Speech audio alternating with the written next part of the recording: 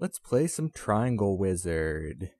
Triangle Wizard is a fairly non-traditional roguelike that really owes more to Geometry Wars in terms of its look and feel than it does to games like Rogue or NetHack. So let's just jump right in and create a character. Names are randomly generated. We could have it randomly generated new name, but why would we? Melon is the perfect name. Permadeath can be turned on and off. Of course, I'm going to play with it on because this is roguelike. For race, we're going to take Dark Elf, bit of a glass cannon, but the extra sight and resistances, along with the ability to run away, goes a long way towards survival. For class, we're taking Ocular Neophyte because it has strong offensive spells in Shadow Bolt and Death Ray, and it can cast them very quickly. And for God, we're going with Stout Heart for that extra little bit of survivability. So, let's see how Melon the Dark Elf, Ocular Neophyte who worships Stoutheart does. Now, here we've got your standard opening text. It's your basic story. Bad things have been happening around Castle Everdoom, which you would expect because it's called Castle Everdoom. You gotta go in, find the Nameless One, defeat him. Nameless One being down very many staircases. And here's the game. That triangle with red, green, and blue around it is you, the Triangle Wizard. Squares like the one I'm hovering my mouth cursor over improve your various spells and stats. The various ASCII characters you see on screen are your friends and foes. Dollar signs are, of course, money. Got some W for wolves on our side who took care of some hobgoblins, and they're going after some baby wyverns now while we run around and collect some gold. We're gonna go pick up a few copies of the spell Deathstorm. Spells in this game have ammo. You can see in the lower right, we have three Deathstorm at level 1. And once we use those up, no more casting Deathstorm. Luckily, your starting spells regenerate usages, so you're not going to just run out of spells. We got an ally, I do appreciate his help. And on to the next level, those being the downstairs. Let's talk about the interface. Lower right, you can see what spell you have selected, how many you have, and what level it is. The blue bar is your spell casting cooldown, the red bar is your health, the yellow bar is your jump cooldown. Uh, we'll do some jumping later.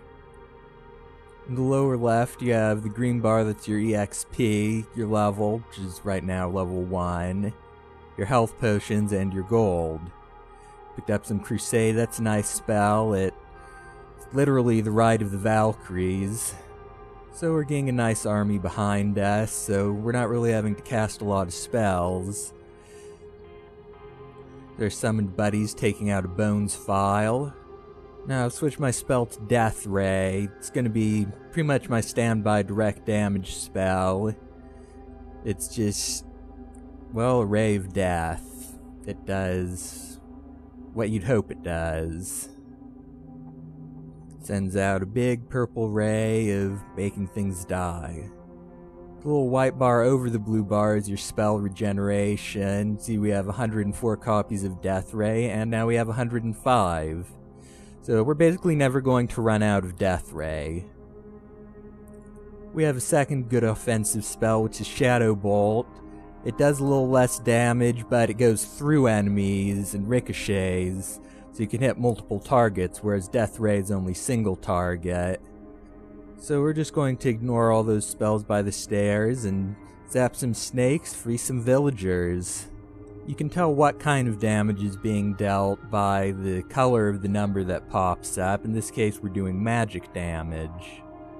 Idu's gonna summon us a water servant. Thanks, buddy. Etched on the castle floor, we have the Latin for make my day because this is a classy game of mass ASCII slaughter. Hovering over myself with the mouse, I can see that I have 12 HP and no resistances whatsoever. I'm just gonna make my way to level 3. Here's one of the two spells that every character gets, which is Recall. It brings all of your friends over to you. The level generation times in this game are fairly long for roguelike, which is to say, there are any at all. And now Rambo time. The red, green, and blue around your triangle indicates the 10 seconds of invincibility time you get at the beginning of every level. And during this time, you can melee attack and cast spells, but they can't hurt you. So the best thing to do is just run in there and get in as much free damage as possible. We run up against our first spellcasting enemy, the Nomad Priest. They have that fire arrow spell. Like most spells, you can just jump over it or move out of the way, since projectiles in this game are fairly slow. As you can see with our friendly paladin, friends and enemies can jump, not just you. I like the way that when they jump, they get all big, like they're coming closer to the camera.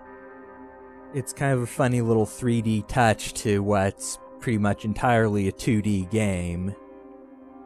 Let's take a look at the stats on the friendly villagers. They have 3 HP, and they're weak to death. Really shouldn't all living things be weak to death? I suppose villagers are just more death prone than adventurers, is what the game's trying to get across. I like that actually. It's the game mechanics telling the story rather than exposition. Instead of telling you a bunch of villagers died, just stick a bunch in the game and make them very easy to kill. Those green arrows are some kind of buff. The game doesn't really give any information on what kind. Idu's gonna try and summon some more buddies, but there's only three summons per character allowed. And look at that orc go. He can jump really high. Somewhere in the air, he gets hit by a charm beam from one of our friends, and you can see that he's on our side by the blue outline around his health bar. One neat thing about this game is it doesn't just use colors to differentiate between creatures of the same letter, but different fonts. You can see the villagers are a very drab sort of V, whereas the Valkyries are a nice little serifed number.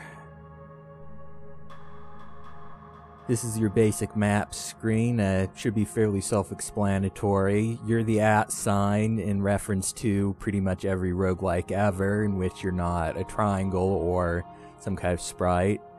This is tactical mode. You basically hit F2 and you can see the name of everything. It's a very good way to just kind of get your bearings. Now gonna have a nice little bit of mass chaos, some fighting, spells flying everywhere, summon familiars, cats and dogs living together, and I'm just gonna ignore it and run around grab some power-ups. Bonus melee damage isn't as great as you might think, since melee is pretty much always a bad idea when you're not invincible. Magic in this game is just so much better. ABC, always be casting. ABC always be cash grabbing. Summon Fire Sprite is a nice pickup. ABC always be conjuring. I can't summon the Fire Sprites right now because I'm already past my summon limit from the Crusade I cast earlier. We head down here, find an NPC that can talk to, but we're not going to because there's a trap in the way. Instead, we're going to do everyone's favorite thing to do in roguelikes, which is run around until we find the exit. Luckily, the exit is right up here. You can see those downstairs peeking up from the bottom of the top of the screen. We got a shrine. There's a ton of these. They all have different effects. I'm not going to look up what they all do during the gameplay, even though it would be beneficial, because that just breaks flow. Same thing with the Trianglopedia they refer to. A uh, lot of good information, not very fun to watch. And Rambo time again. Nice little bank shot here. And we made it to level 2. Leveling up does a couple things. It gives you extra HP, and the next time you get to the downstairs, it gives you a talent, which shows up in one of those dialogue boxes that you don't see. You get a choice of three talents, or you can take one completely at random. Evaporate Walls, another really nice spell to have. I'll show that off for you. It does that. And the reason I jumped there is because that explosion can kill you, and in fact it has killed me. On the other end, I've also lost games where an enemy summoned a wall right in front of the only path to the exit, and I was basically screwed because I didn't have Evaporate Wall. These guys jumping towards us are Aurochs, and they're not ASCII at all. They're some kind of strange Unicode symbol. My best guess would be some kind of Arabic punctuation. Or maybe it's just a really strangely stylized division sign? I don't know.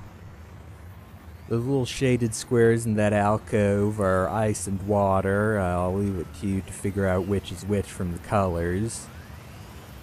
And we got some Gnoll Elders. These guys cast Magic Missile.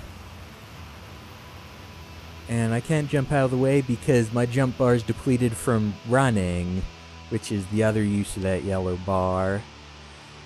You can tell your allies who to attack. I just sent them to attack the Gnoll Elder, which they took care of very quickly. We're doing this little loop around. We're going to head down to the next level. And there's going to be another one of those dialogue boxes that you can't see giving me my choice of talents, and I choose the talent that increases my Shadow Bolt damage, because that's a spell I use a lot. Every spell has a talent associated with it, and you're more likely to be offered the talents for spells that you've already picked up, which is one reason not to pick up spells you're not going to use, because then you're going to be offered talents that improve them, and you don't really need those talents. Incidentally, Triangle Wizard Day is a real thing. You get uh, a special ring if you play on October 27th. There we've got a trap that's that little circle with an X in it with the green dot circling it. Traps just cast a spell at regular intervals. And there, that one just went off a cast glass shards. This is your spellbook screen. It shows you what spells you have, what their quick select number is, what letter accesses them, their level, how many copies you have, and if they regenerate, how long it takes to regenerate one copy. You can see there are a ton of spells. We've got a few only. We all have them bound to our quick select bar, which you get to by pressing the number keys or using the scroll bar. I usually prefer the latter. Now I'm just going to stand there, attack these moonclans, exposing myself to that trap. Luckily I get out of the way before it goes off. I mean, skillfully I get out of the way before it goes off. Box with an eye in it is an item. You can carry one item per level you have. But before I get that item, I'm going to be attacked by crows. Crows, luckily, are weak enough that you can just melee them to death. Which is good because they fly over your spells. Pick up that unidentified Voulge. Just hang around trap some more.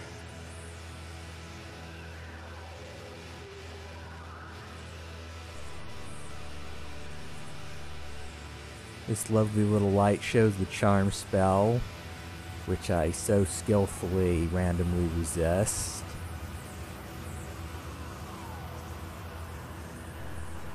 Here's your inventory screen. Gonna equip this unidentified Voulge.